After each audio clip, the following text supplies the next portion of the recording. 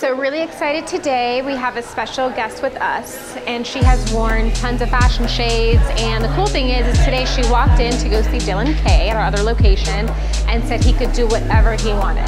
So we have this beautiful hair, it's stunning, her hair is healthy, it's long, and I get to go in and incorporate hand-tied hair extensions in to match Dillon's amazing color. So we're really, really excited. We have Jordan here, we're gonna work together and we're gonna do our regular version of our hand-tied hair extensions.